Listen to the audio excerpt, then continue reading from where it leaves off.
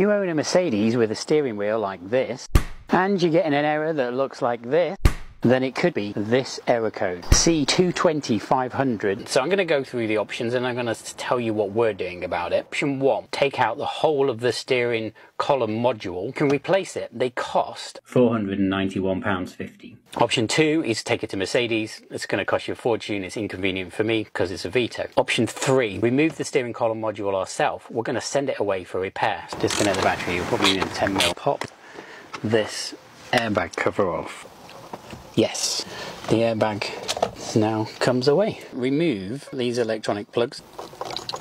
Uh, there we go. Get your wrench on there. It's a 10 mil. This should just come off now. But this should just come away. There we go. Oh.